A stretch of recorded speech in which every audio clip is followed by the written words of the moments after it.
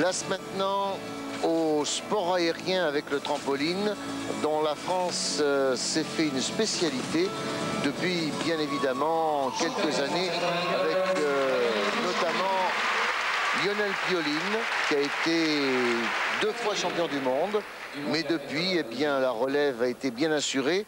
Et ici, Magali Trouche, chez les dames, Changement d'altitude entre la gymnastique et le trampoline. Il y a pourtant un point commun, ce sont les saltos, les sauts périlleux et les vrilles.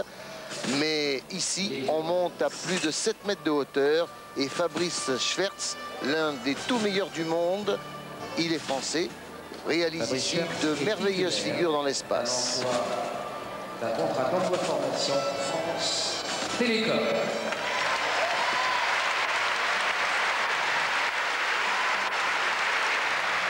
Fabrice Schwertz est maintenant l'un des tout meilleurs spécialistes du monde, alors que vous pouvez, Michel Boutard, apprécier qu'on peut enchaîner vrille, salto avant, vrille, on n'a pas encore le full-in, full-out.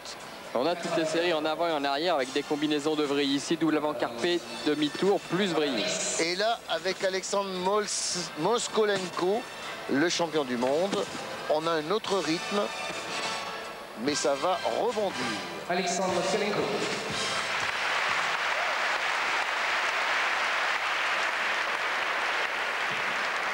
Et c'est maintenant pour vous préparer justement à voir autre chose que cette pure montée dans l'espace. Maintenant, nous allons voir des choses plus étonnantes avec notamment Irina Karavaeva.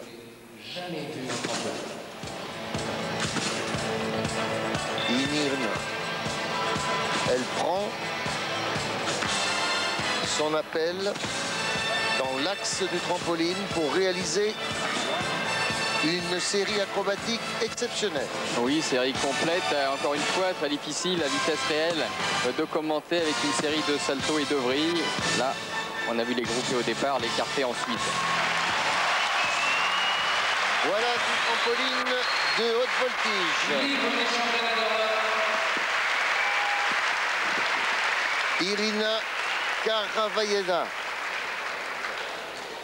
Voilà, double arrière avec un demi-tour dans chaque salto. Double avant, demi-tour. Double arrière carpé, ouverture, impulsion dans la toile. Double avant carpé, demi-tour. Voilà, Enchaînement trampoline euh, donc qui nous réconcilie avec euh, des figures acrobatiques d'une grande amplitude. Mais c'est vrai qu'on ne peut pas réaliser les mêmes choses en gymnastique. Il n'y a qu'au trampoline qu'on peut s'élever si haut.